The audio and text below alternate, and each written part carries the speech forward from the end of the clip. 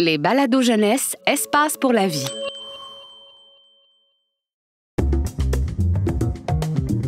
Bienvenue chez Astrobien, agence de voyage intergalactique. Un balado du planétarium Rio Tinto Alcan.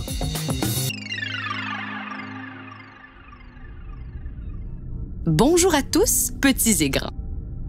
Que diriez-vous d'un voyage dans les étoiles et l'infini spatial? Ça fait rêver, hein? Mais tout d'abord, il faut se rendre dans un quartier fleuri de Montréal.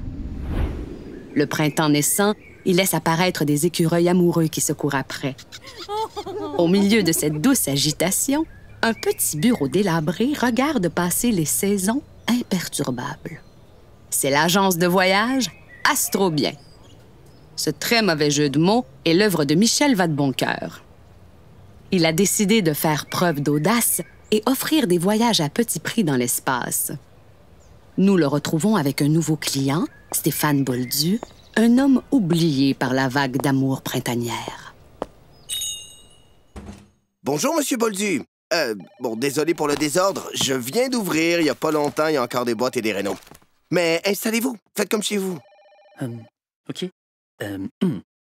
Je peux prendre cette chaise? Euh, euh, non, pas cette chaise, elle est brisée. Ah, et pas cette chaise non plus. Mais tenez, asseyez-vous sur cette boîte. Voulez-vous un café? Hum, OK. Ah non, j'ai pas de cafetière. Bon, hey, donc, dites-moi, Monsieur Boldu, qu'est-ce que vous cherchez exactement? Hum, euh, J'aimerais euh, voyager pour faire des rencontres. Ok, je vois. Euh, Vous êtes célibataire, hein? Mais là, euh, c'est bon. euh, Je suis prêt à me jeter dans le grand bain de l'amour. Euh, C'est pour ça que j'ai pensé à l'Italie. L'Italie? Oui, euh, c'est romantique. Venise, Rome, euh, la musique, les monuments, les couchers de soleil. Bon, euh, je vous coupe tout de suite, Monsieur Boldu. Ici, vous êtes chez Astrobien. Et chez Astrobien, c'est trop bien parce qu'on vend des forfaits dans l'espace. Les planètes, vous voyez? Et je pense que j'ai la planète parfaite pour vous. La planète la plus romantique qui porte même le nom de la déesse romaine de l'amour, Vénus. Ah, euh, OK. Euh, Est-ce qu'il y aura d'autres euh, gens là-bas? Non, effectivement, vous serez le seul. Mais vous partirez à la rencontre de vous-même. Euh, ben, Pour aimer quelqu'un, il faut avant tout apprendre à s'aimer soi-même. Sur Vénus, vous allez tellement tomber amoureux de vous que vous allez vous auto-demander en mariage. C'est garanti. Garanti. Sans assurance de remboursement. c'est vraiment si romantique que ça? Mais oui, il y a toujours une petite lumière tamisée pour une atmosphère intimiste. Tamisé? Mais comment ça se fait? Seulement 10% de la lumière du Soleil parvient à la surface pour une raison très simple. La planète est constamment enveloppée d'une couche opaque de gaz carbonique et d'acide sulfurique. Leurs couleurs sont vraiment magnifiques. L'acide sulfurique dans les nuages. Euh. Mais c'est ce qu'on met dans les piles, ça? Donc, ce que vous me dites, c'est que parfois, il y a de la pluie d'acide sulfurique? C'est pas un peu dangereux, ça? Ah, attention, pas uniquement. Ils sont constitués principalement de gaz carbonique. Bah oui, il peut y avoir là de la pluie d'acide sulfurique, mais ne vous inquiétez pas, elle ne vous touchera pas. Les gouttes s'évaporent à une altitude d'environ 30 km au-dessus de la surface et ça, c'est plutôt génial. J'ai une question pour vous. Qu'est-ce qu'on aime voir dans les comédies romantiques? Ben. Des gens qui s'embrassent? Oui, euh, ben, mais non. On aime voir des gens courir sous la pluie. Mais sur Terre, si on court sous la pluie, ben après, euh, on est mouillé, et ça, c'est désagréable. Sauf que sur Vénus, vous resterez sec. C'est pas incroyable, ça? Mais, mais pourquoi la pluie s'évapore? Parce que Vénus est la planète la plus chaude du système solaire. Ah. 462 degrés Celsius à la surface. Ah. Donc les gouttelettes d'acide, pouf, ça s'évapore. Ah. C'est hot, c'est chaud, c'est aussi ça le romantisme, non? Et pensez aux avantages. Avec cette température, pas besoin de trimballer vos habits d'hiver, vous voyagez léger. Et pas besoin d'avoir un four si vous voulez cuire votre pain de viande pour un souper en amoureux avec vous-même. Mais euh, qu'est-ce que je peux faire d'autre sur Vénus à part courir sous la pluie sans être mouillé et faire cuire mon pain de viande? Mais plein de choses, Monsieur Boldu. Euh, la plongée sous-marine, par exemple. Il y a de l'eau sur Vénus? Non, euh, mais la pression atmosphérique sur la surface est la même que celle ressentie sur Terre, à 900 mètres sous l'eau. Donc, c'est comme si vous faisiez de la plongée, mais sans... Sans me mouiller? Exactement! Ah, vous comprenez vite. Et en plus, les palmes et le tuba sont inclus dans le forfait, cadeau de la maison. Mais n'oubliez pas de les rendre. et il n'y a pas que ça. Il y a le massif montagneux Maxwell avec une altitude de 10 700 mètres et qui donne une merveilleuse vue sur... Rien. Mais c'est tellement romantique. En plus, vous pourrez admirer des éruptions volcaniques. Hmm, mais c'est extrêmement risqué. Ben non, ben, bon, peut-être un peu risqué. Ben certes, il y a des éruptions volcaniques assez fréquemment, des tempêtes de neige, de métaux lourds, mais avouez quand même que c'est assez spectaculaire un volcan en éruption. Le paysage est parfait pour déclarer sa flamme, non? Dé- déclarer sa flamme? Déclarer du magma en fusion, surtout? Et vous en prenez en pleine figure? J'entends votre sarcasme, Monsieur Boldu, et je le trouve bien mal à propos. Vénus, c'est pas plus dangereux qu'ailleurs. Son atmosphère a plein d'avantages.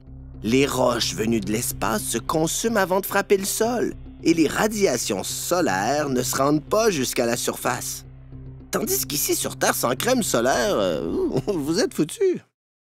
En plus, sur Terre, il y a de la déforestation, du racisme, de la pollution. Il n'y a pas de pollution sur Vénus, Monsieur Boldu. Il n'y a pas de racisme non plus. C'est pas étonnant que vous soyez célibataire. Vous regardez toujours le verre à moitié vide. Mais, mais non, il, il est complètement vide, le verre. Il y a personne. Moi, je veux juste rencontrer de l'amour. Monsieur Boldu, il y aura toujours votre imagination. Avec elle, vous ne serez jamais seul. Euh, je ne sais pas. J'ai peur d'être dépaysé. Mais vous ne serez jamais dépaysé. Vénus, c'est la planète sœur de la Terre. Elles ont presque le même diamètre, la même masse, la même proximité au Soleil. Elles sont sœurs, je vous dis. C'est comme si vous alliez voir votre matante. C'est gentil de matante, non? Oui. Mais euh, le voyage, ça doit être long, non? 30 à 50% moins de temps pour aller sur Vénus que pour aller sur Mars. Non, mais euh, par rapport à l'Italie, par exemple, c'est c'est long, non? Oh, monsieur Boldu! Vous me fatiguez avec votre Italie. L'Italie, ça paraît proche comme ça, mais le temps qu'on perd. Faire sa valise, prendre une balance, peser la valise, puis appeler un taxi. Arriver à l'aéroport, l'enregistrement, les douanes, l'attente, les escales, la sécurité, perdre son bagage, prendre un bus. Ouais, c'est pas le bon. Reprendre un autre bus, sans savoir parler italien, Non ho mai visto niente di questo genere. récupérer son bagage un mois plus tard, se rendre compte qu'on a oublié ses bobettes. Excusez-moi, mais ça, c'est extrêmement long. Alors que Vénus, je vous le répète, 30 à 50% moins de temps que pour aller sur Mars. Mais je, je veux pas aller sur Mars, je veux aller en Italie. Mais avouez que c'est moins loin que Mars.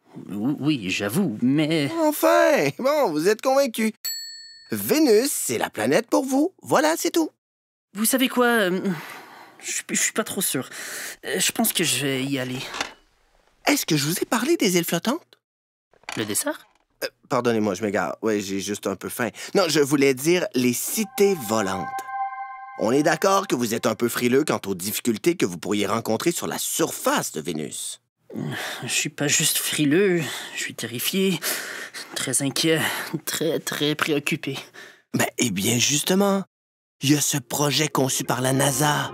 Une cité volante flottant dans l'atmosphère autour de Vénus. Les conditions y sont presque les mêmes que sur la Terre. La température chute à 70 degrés, Ben, ce qui est supportable en uniforme de pompier. En uniforme de pompier, Monsieur Boldu, le top du glam. Vous l'imaginez maintenant, votre photo de profil, hein? Vous les voyez, tous ces j'aime sur les réseaux sociaux? Les smileys avec des cœurs à la place des yeux. Mais oui, oui, c'est vrai que c'est intéressant. Et c'est maintenant que vous le dites.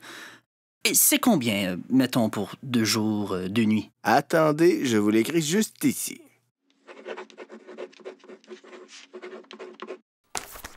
Mais vous êtes malade? C'est ça des petits prix pour l'espace. Monsieur Boldu, Vénus tourne plus lentement sur elle-même qu'autour du Soleil. Pour faire simple, deux jours et deux nuits sur Vénus, ça fait environ huit mois sur Terre. Ça fait... euh, 233 jours de vacances. Des vacances de huit mois à ce prix-là, c'est presque cadeau, Monsieur Boldu. Vous trouverez pas ça partout. Ben, surtout pas en Italie. Donc, on paie par un crédit ou débit? Ben, euh, débit? Félicitations! Vous avez fait le bon choix, je suis fier de vous. J'avoue, j'ai hâte d'être dans la cité volante avec mon beau costume de pompier.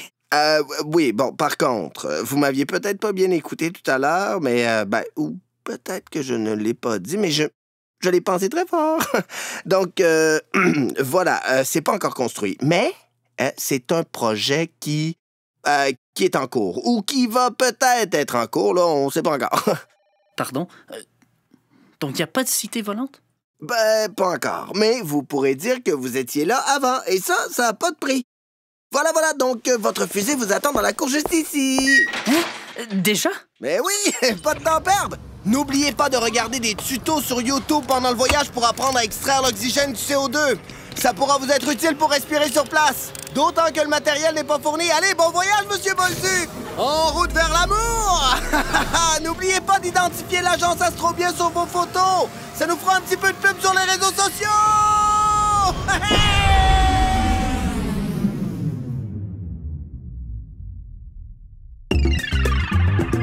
Ce balado est une production signée La Puce à l'oreille pour Espace pour la vie. Texte Reda Sawi et Léo Hart. Voix François Bernier, Elkana Talbi et Luca Diteko. Réalisation La Puce à l'oreille et les studios Bakery. Espace pour la vie est un service de la Ville de Montréal et le plus important complexe en sciences de la nature au Canada. Pour retrouver tous nos balados, rendez-vous sur espacepourlavie.ca.